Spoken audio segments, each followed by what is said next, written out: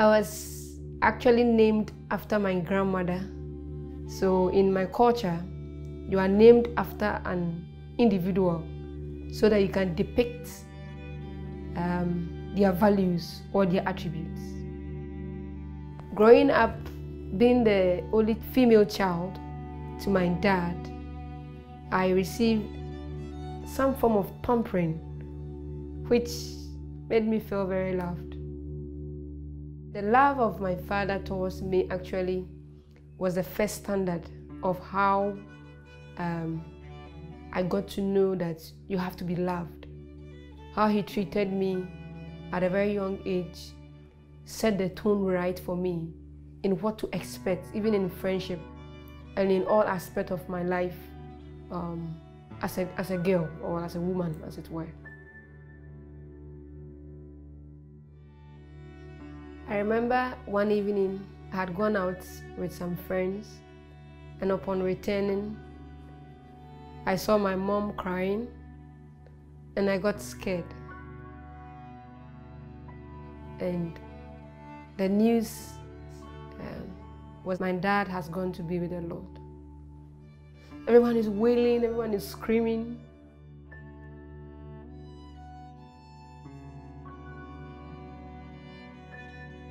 I felt very broken. Suddenly, my mind was blank. I couldn't think, and I didn't know what to say. You don't really feel the pain until everyone leaves, and then you are left alone. That is when you feel the loss in its enormous capacity.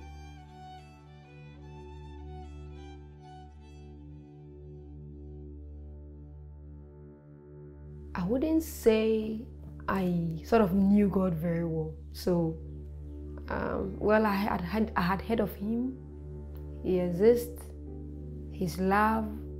His all sort of things. But all I knew was I was in pain and God could stop or prevent death.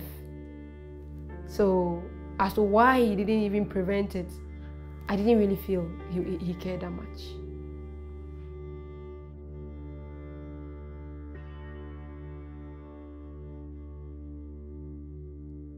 Later that year, after my dad passed, I kept struggling and felt nothing could really make me feel that void.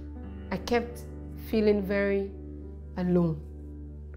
It was during those times that um, I had a small phone and then I was on Facebook and I, had, I kept seeing a pop up that said, God loves you, God loves you.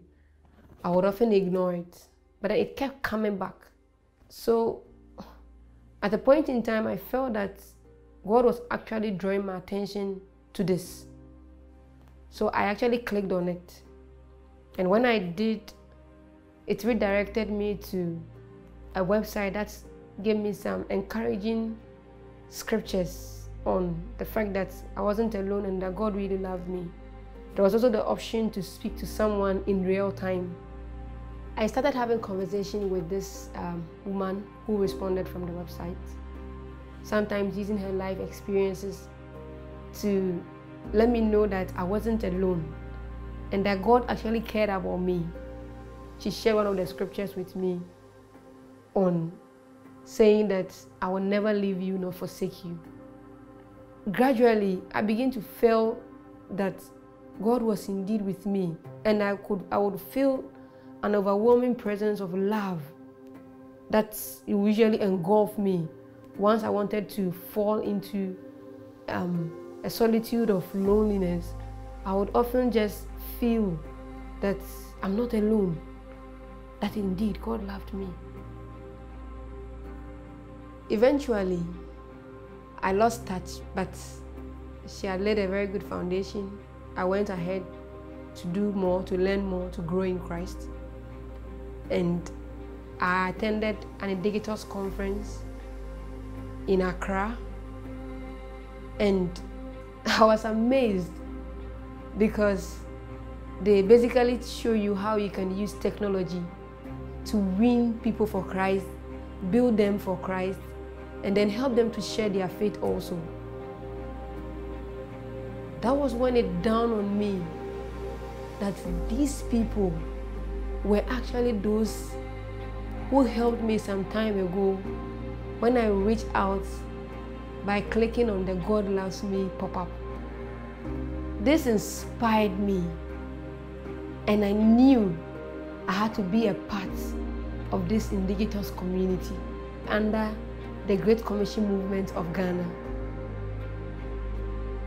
It's been amazing being in the capacity now to help others to come know the Lord, to feel cared for, to feel loved through the mobile phone, through technology, through social media.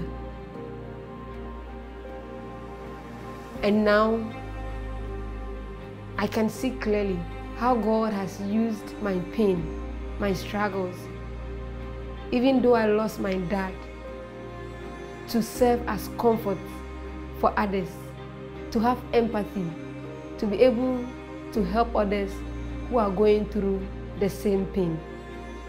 Indeed, my name has become evident.